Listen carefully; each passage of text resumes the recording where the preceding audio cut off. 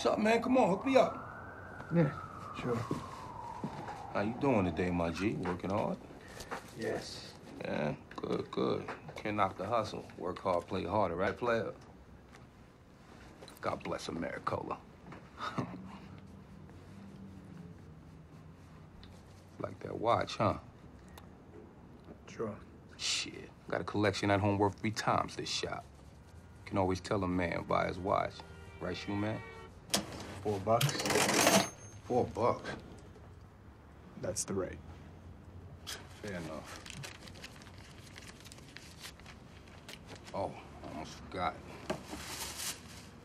I need these fixed, you man. Okay. What do you want done? New soles. And I need them tonight.